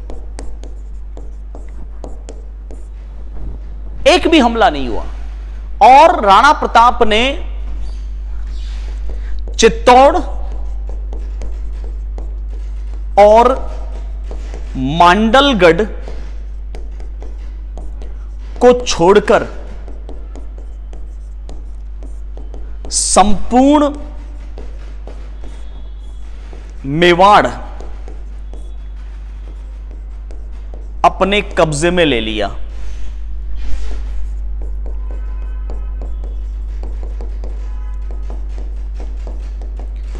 मांडलगढ़ और चित्तौड़ को राणा प्रताप कभी जीत नहीं पाए। लेकिन सारा मेवाड़ इन अंतिम 12 सालों में अपने अधीन कर लिया। तो साथियों, ये बात आप लोग शायद पचा भी लो, लेकिन मेरे से नहीं पच रही है। अंतिम 12 साल तक ऐसा क्या हो गया था जलालुद्दीन मोहम्मद अकबर को कि उन्होंने राणा प्रताप को हाथ तक नहीं लगाया? ऐसा क्या हो गया था कि वो जलालुद्दीन अकबर जो अपनी मुगलिया सल्तनत दांव पे लगाने को तैयार था, वह महाराणा प्रताप को छेड़ता तक नहीं है। क्या आप यह बात भी पचा सकते हो कि अकबर को इतनी ज़बरदस्त सनक थी राणा प्रताप को गिरफ़्तार करने की, वो अकबर अकस्मात से ठंडा कैसे पड़ गया अंतिम 12 साल में? क्या अकबर को यह नहीं पता कि राणा प्रताप इस समय चावंड में है? चाहता तो आसानी से गिरफ़्तार कर सकता था, चाहता तो आसानी से हमला कर सकता था। क्या कारण है? जरा सोचिए, ऐसे ऐसे सवालों की झड़ी लगाने के बाद में शायद हो सकता है आप लोग परेशान हो जाओ। चलो मैं ही इसके पीछे राज खोल देता हूँ। देखिए, अकबर को दो कारणों से राणा प्रताप पे हाथ नहीं डाला। अगर थोड़ा सोचें, सोच के देखें आप, कि पंद्रह तक राणा प्रताप जीवित रहे, ठीक है? अकबर ने 12 साल तक राणा प्रताप पर कोई भी तरह का हाथ नहीं डाला, न उनके ऊपर कोई आक्रमण किया, शांति ही शांति बनी रही, बिल्कुल। तो क्या पंद्रह के बाद में अकबर ने मेवाड़ पर कोई हमला नहीं किया। अरे भैया, राणा प्रताप के स्वर्गवास होते ही उनके बेटे अमर सिंह पर फिर से अकबर ने हमले शुरू कर दिए थे। पंद्रह सौ निन्यानवे ऊंटाला का युद्ध।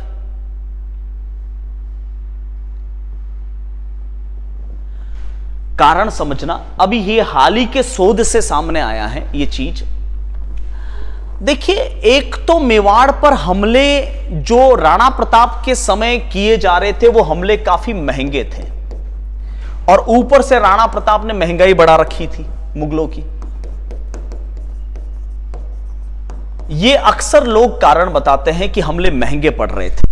कुछ कारण बचकाने अंदाज में ये बताते हैं कि अकबर का ध्यान पूरी तरह उस समय बंगाल पर था। यार, अकबर हिंदुस्तान नहीं, पूरे एशिया का बादशाह था। आप उसे हिंदुस्तान का बादशाह मत समझिए, एशिया का बादशाह था। अफ़गानिस्तान, पाकिस्तान, भारत, बांग्लादेश पर कब्जा था उसका। छोटा मोटा आदमी नहीं था। उसको काहे की कमी? नहीं। दरअसल कमी यह थी, अभी हाल ही के शोध से सामने आया है कि महाराणा प्रताप जो है, वह जब चावंड में थे तो अक्सर बीमार रहते थे। उनका शरीर युद्धों से काफ़ी जर्जर हो चुका था, खराब हो चुका था, और मैक्सिमम टाइम वो बेड रेस्ट पर थे। और ऐसे वक्त में राणा प्रताप का हालचाल पूछने के लिए उनका कुशल क्षेम, उनका कुशल क्षेम पूछने के लिए उनके हालचाल पूछने के लिए सारे राजपूत आते थे। चावंड में। सारे राजपूत आते थे उनके हालचाल पूछने के लिए। शायद उनको इस बात से गिल्ट था कि इतिहास इन व्यक्ति को, यानी राणा प्रताप को याद रखेगा और हमारे नाम पर धिक्कार करेगा। इवन अभी हाल ही के शोध में तो यहाँ तक भी सामने आए हैं बात कि खुद तीन बार भेष बदलकर मानसिंह भी आए थे। भले मानसिंह कछवाहा राणा प्रताप से भेष बदल के मिलने के लिए आए हो, लेकिन क्या इस बात की भनक अकबर को नहीं है? सब पता है अकबर को। अब ऐसे वक्त में, इस नाजुक मोड़ में अगर अकबर राणा प्रताप पर हाथ डालता है तो आप तो जानते हो कि पूरी मुगलिया सल्तनत राजपूतों की वजह से टिकी हुई है और बगावत का खतरा था अकबर को। बगावत हो जाती, पूरा मुगलिया सिंहासन हिल जाता। इसलिए राणा प्रताप को अकबर ने नहीं छेड़ा। समझ गए? तो भाई साहब, इसी वजह से अकबर को नहीं छेड़ अकबर ने नहीं छेड़ा राणा प्रताप को, और आखिरकार एक समय ऐसा आया जिसको आप शायद सुनना पसंद ना करें। 19 जनवरी पंद्रह को 1597 को, चावंड में राणा प्रताप जो है, एक शेर का शिकार कर रहे थे।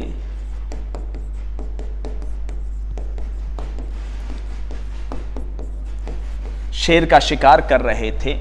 उस समय धनुष पर प्रत्यंचा चढ़ा रहे थे। प्रत्यंचा प्रत्यंचा मतलब डोरी होती है ना, प्रत्यंचा चढ़ा रहे थे। तब कहते हैं कि उनकी मांसपेशियों में खिंचाव आ गया।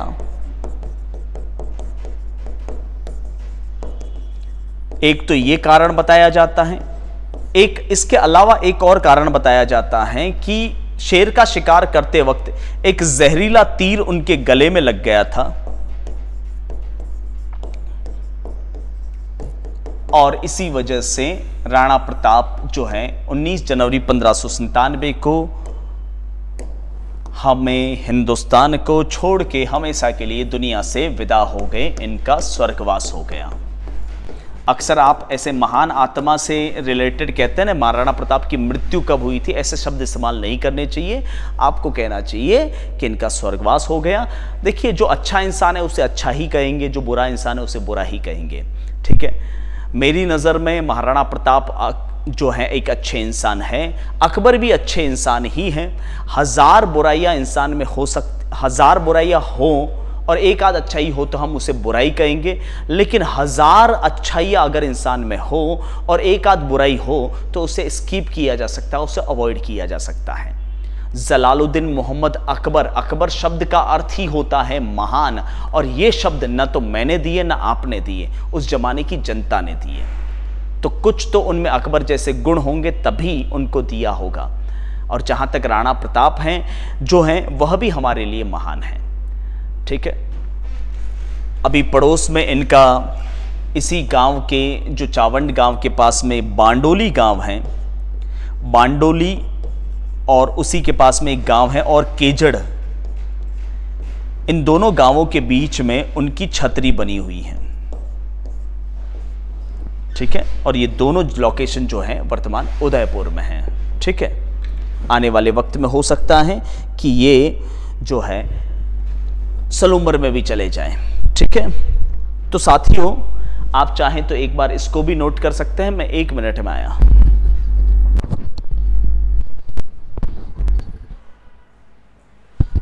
क्लास आपकी जारी रहेगी एक मिनट बाद।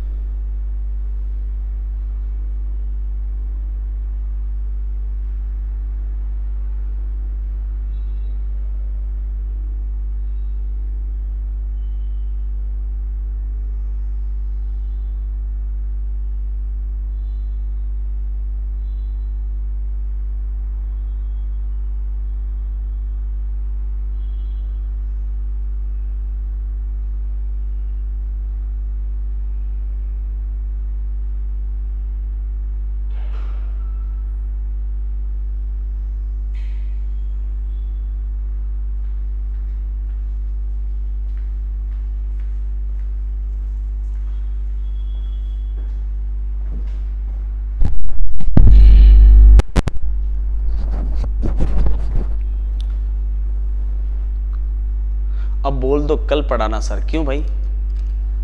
यूँ कहो ना मतलब खुद ना पढ़े तो ना पढ़े, दूसरों को भी ना पढ़ने दे।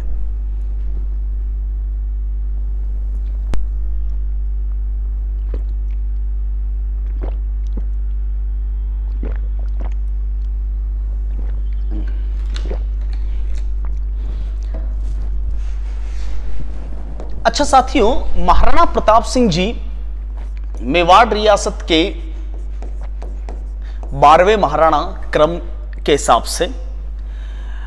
और उनके बाद में नेक्स्ट महाराणा बने अमर सिंह जी। महाराणा अमर सिंह। मैं आपसे एक छोटा सा, सीधा सा सवाल पूछूँ कि महाराणा अमर सिंह आपकी नज़र में कैसे हैं? अच्छे, बुरे या ठीक ठाक एक शब्द में जवाब देना है मुझे। अच्छे हैं, बुरे हैं या ठीक ठाक हैं? कैसे हैं महाराणा अमर सिंह आपकी नज़र में?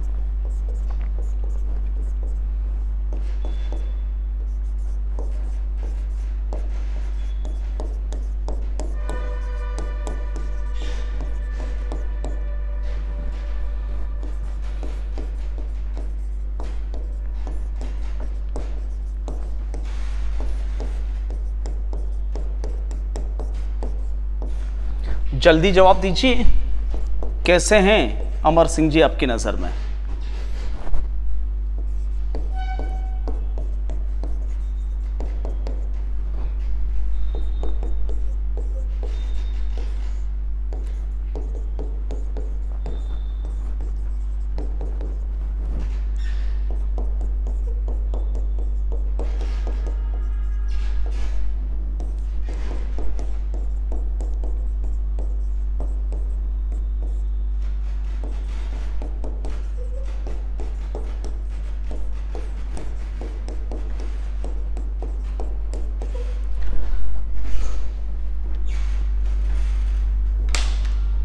देखिए, आपकी नज़र में अमर सिंह जी कैसे हैं, मैं नहीं जानता और ना मैं जानना चाहता हूँ।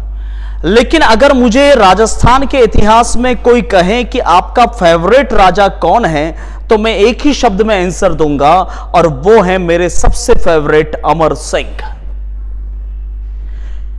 देखिए, इंसान हमेशा सिक्के का एक पहलू देखता है, उसका बैक साइड देखना भूल जाता है। मेरी नज़र में अगर मेरे कोई सबसे फेवरेट महाराणा है, राजा है तो वो है अमर सिंह।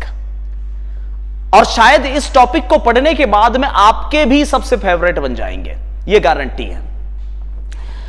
आप लोग सोचते हैं कि अमर सिंह ने मुगल अधीनता स्वीकार की, मुगलों से संधि की। शायद इस वजह से अमर सिंह आपको ऐसे लग रहे होंगे।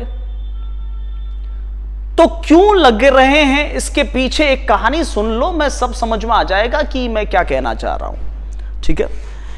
देखिए, आपको मैं पूरा अच्छे से इतिहास क्लियर कराता आ रहा हूँ और आपको पता होगा कि करीब अप्रैल से लगाकर जून महीने में 1578 ईस्वी में मेवाड़ में क्या हुआ था? तो आप कहोगे कि सर, कुंभलगढ़ किले पर हमला हुआ था मुगलों का और कुंभलगढ़ किला जो अजय माना जाता है, उसका विजेता जो है सहबाज खान बना था।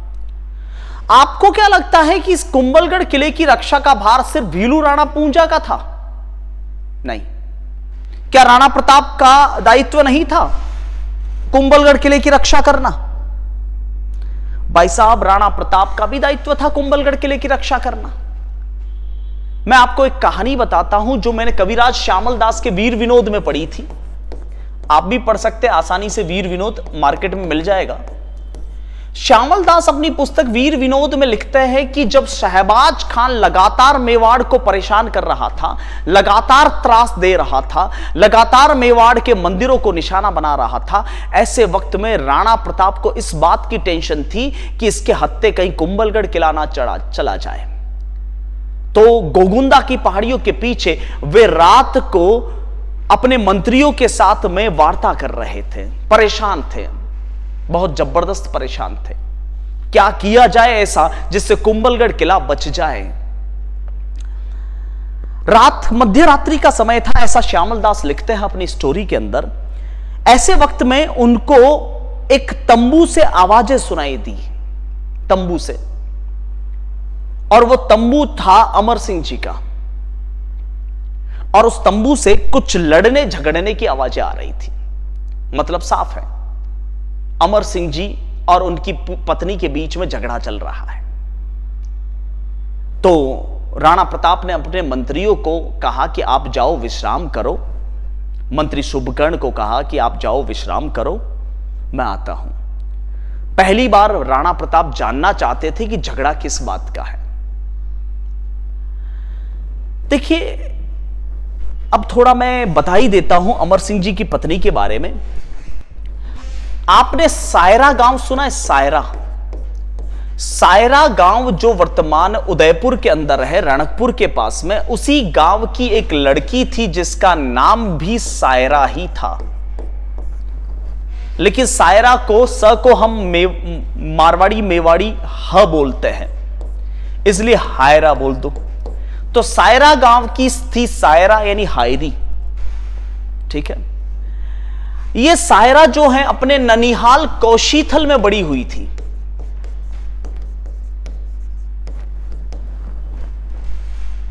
फूलों में पली बड़ी थी, नानाजी के पास में। और आप तो जानते हैं कि नानाजी जो है, हर लड़की का जो पिता होता है या उसके जो पीहर वाले होते हैं, वह अपनी लड़की के लिए बेहतर से बेहतर लड़का ढूँढने का प्रयास करते हैं। पापा की परियों के लिए। तो सायरा जब बड़ी हो चुकी थी, इसने कभी ज़मीन पर पैर नहीं रखा था। कहने का मतलब यह है सिंबॉलिकल लैंग्वेज है, कहने का मतलब है, इसने कभी दुख नहीं झेला था।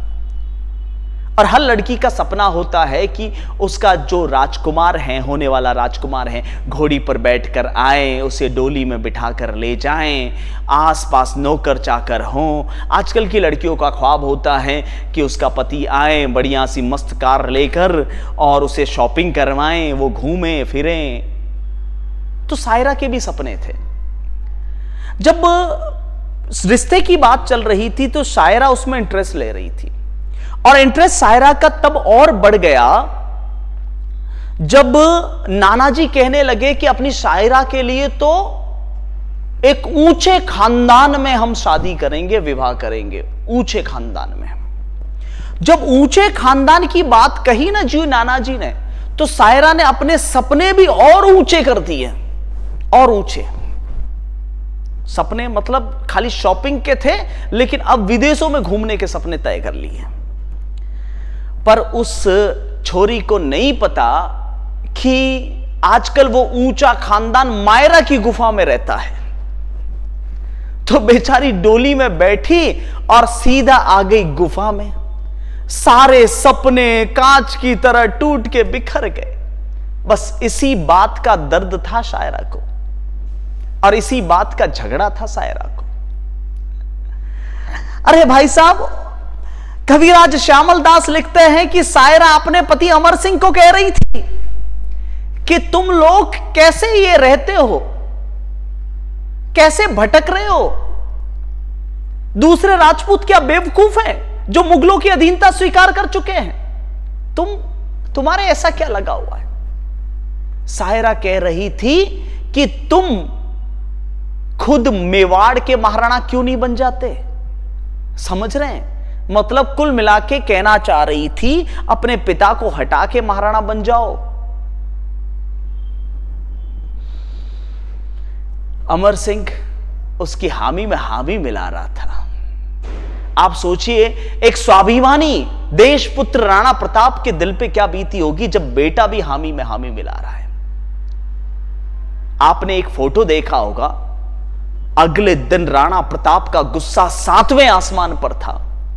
आपने एक फ़ोटो देखा होगा, राणा प्रताप एक पत्थर पर खड़े हैं और सामने सारे सरदार खड़े हैं जिसमें अमर सिंह जी भी हैं और वो चिल्ला के अमर सिंह जी की तरफ़ इशारा करके बात कर रहे हैं। राणा प्रताप ने कहा अपने सरदारों को कि मैंने तो मुगलों के घर में अपनी बेटियाँ नहीं भेजी, लेकिन इस अमर सिंह के ऊपर विश्वास मत करना। मैं आपको बताना चाहूँगा दोस्तों अमर सिंह के ऊपर राणा प्रताप मरते दम तक भरोसा नहीं कर गए थे। और यह बात अमर सिंह के दिल में चुभ गई थी। अमर सिंह ने डिसाइड कर लिया था कि भली जीते जी, भली मृत्यु कबूल है, लेकिन गुलामी स्वीकार नहीं करूँगा। बदल गए थे। 180 डिग्री का अंतर आ गया था उसमें। माना कि वो प्रारंभ में जो है, वह उनके विचार शुद्ध नहीं थे, लेकिन वो पूरी तरह से बदल चुके थे। मैं आपको बताना चाहूँगा, महाराणा प्रताप सिंह जी ने अपने अंतिम समय तक अमर सिंह जी को देखा तक नहीं था, उनकी शक्ल तक नहीं देखी थी। अरे भैया, महाराणा प्रताप के समय मुगलों ने जो हमले किए थे ना, उन हमलों को अगर हल्दी घाटी दीवेर सब मिला दिए जाए तो 19 हमले थे। अगर अमर सिंह इतने ही बुरे होते तो छुटपुट कुल तैयालीस हमलों का सामना ना करते। मुगलों ने जो मेवाड़ पर अमर सिंह जी के समय हमले किए थे ना, उनकी संख्या छुटपुट 43 थी। राणा प्रताप के समय सिर्फ़ 19 राणा प्रताप को जो मेवाड़ मिला था, वो मेवाड़ पहले से स्टैब्लिश था। लेकिन राणा अमर सिंह को जो मेवाड़ मिला, वो बिखरा हुआ था। राणा प्रताप हल्दी घाटी, दिवेर और कुछ छुटपुट युद्धों को छोड़कर सारे छापामार युद्ध किए, अमर सिंह सीना ठोक के आगे जाते थे। अमर सिंह जी की आत्मा मुझे रात को सोने नहीं देती।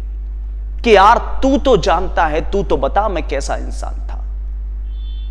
अमर सिंह जी भी मेरी नज़र में महान है। राणा प्रताप सिंह जी के समय जब मुगल फौज हमला करती थी तो एक और से आक्रमण होता था, इनको तो तीन तीन और से घेरा जाता था। फिर भी सामना करते थे। पर क्या है? कुछ बचकाने अंदाज में कुछ लोगों ने लिख लिया, हमने मान लिया, इनके समय में संधि क्या हो गई, हमने उनको गलत समझ लिया। सोचिए उनकी दिवंगत आत्मा को कितना दुख पहुँच रहा होगा।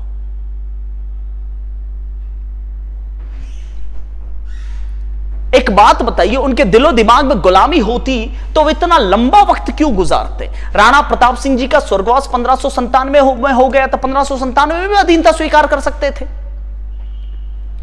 इतने सारे ये मुख्य युद्ध क्यों लड़ते वो?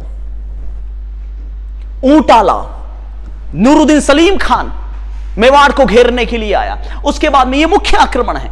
1604 में परवेज खान आया। 1608 में महाबत खान ने आक्रमण किया। 1614-15 में तो शहाबुद्दीन खुर्रम खान यानी शाह जहाँ ने तो तांडव मचा रखा था मेवाड़ में। हमने क्या है? कुछ राजाओं को ही राजनीति करने वालों ने चक्कर में कुछ राजाओं को ही हीरो बना रखा है। लेकिन मेरी नज़र में तो महाराणा प्रताप भी महान है और अमर सिंह भी महान है। अगर मुझे कोई पर्सनली पूछे तो मुझे अमर सिंह जी महाराणा प्रताप से भी एक या दो प्रतिशत अधिक लगेंगे। ये बात लिखिए आप। लिखिए। संधि क्यों की? ये संधि भी क्यों की मैं बता दूँगा आपको। एक बार इसको नोट डाल डाउन कर लीजिए या फिर इसको आप अपनी स्क्रीनशॉट में रख लीजिए अपने मोबाइल में।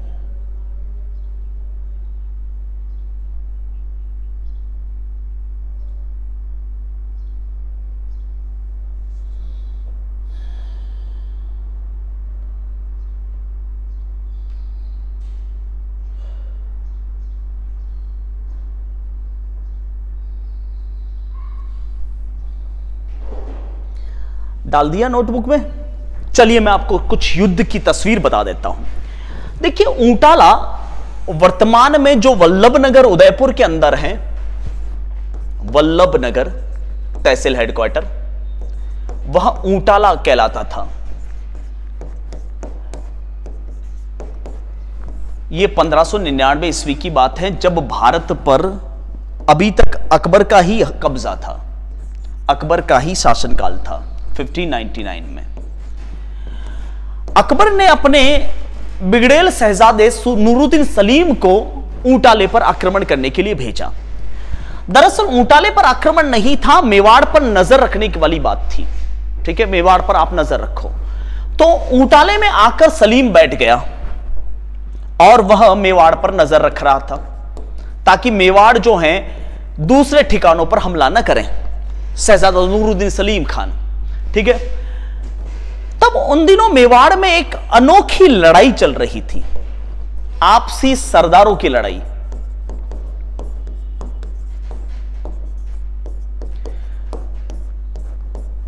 एक ठिकाना था सलूम्बर और एक ठिकाना था भिंडर।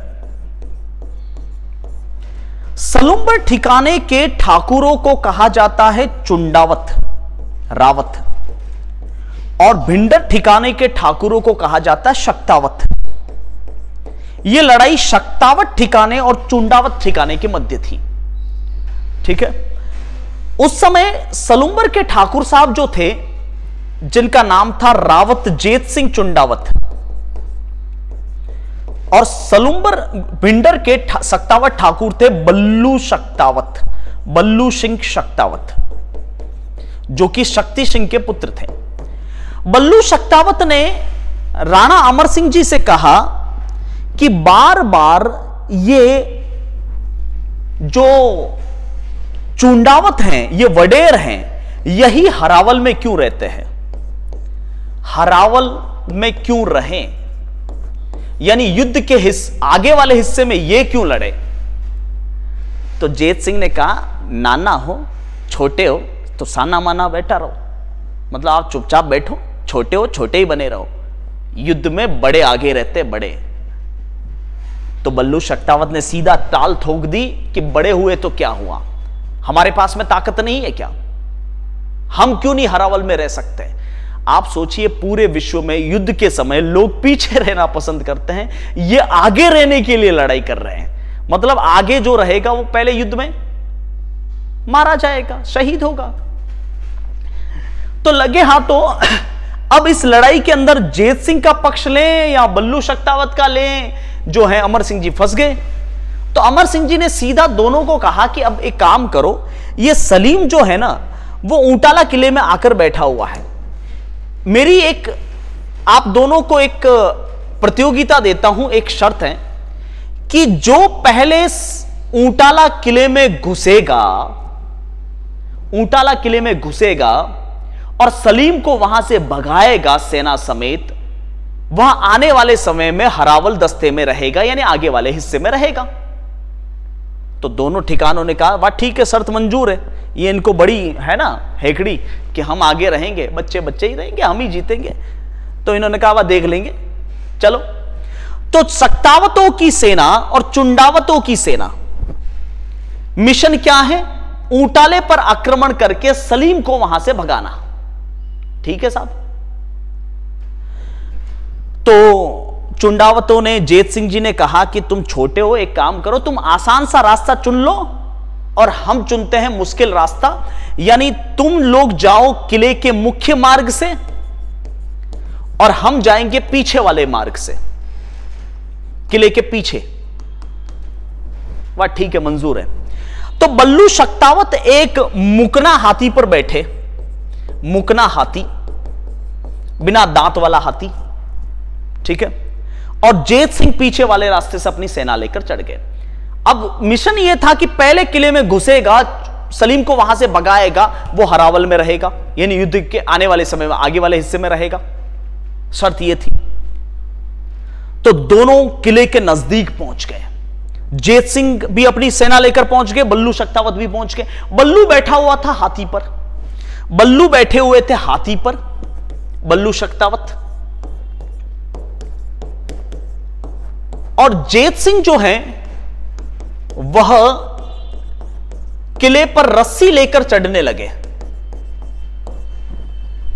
तो बल्लू ने अपने हाथी को एड़ मारी, भाला मारा, और हाथी ने उस किले की जो फाटक थी, गेट था, उस पर ज़ोर से बचेड़ मारी हाथी ने। और हाथी ने जब किले के आगे वो नुकीले शंकु लगे हुए थे बचेड़ मारी और उस हाथी के जोरदार लगी शंकु।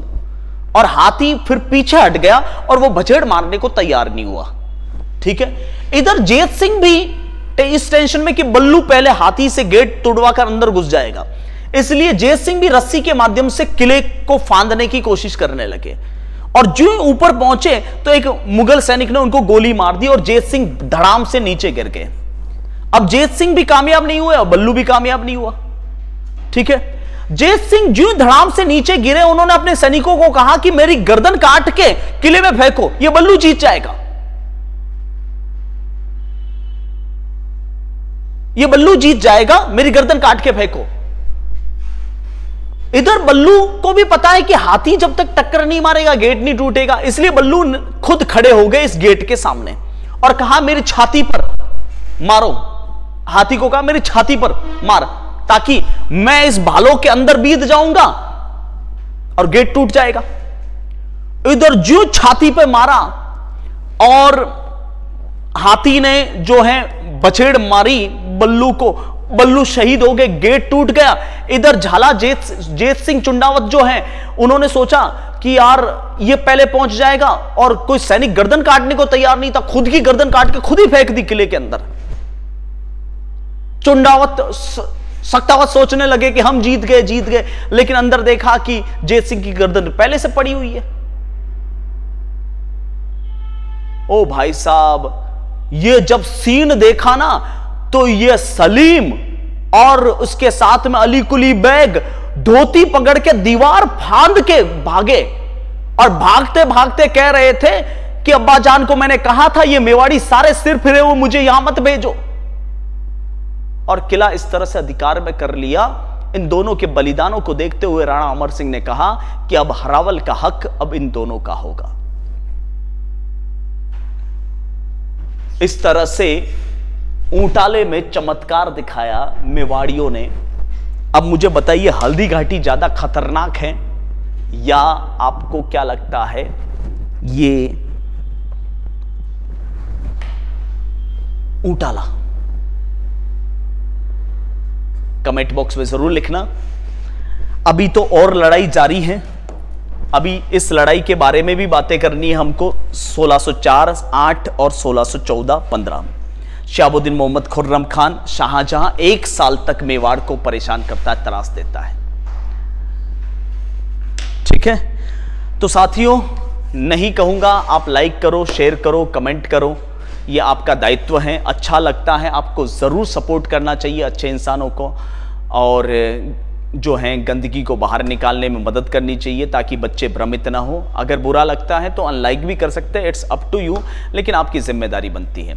तो आज के लिए इतना ही, आपस में लड़ाइयाँ बंद करो और now bye bye take care see you later good night मिलते हैं अगली क्लास में, तब तक के लिए बाय बाय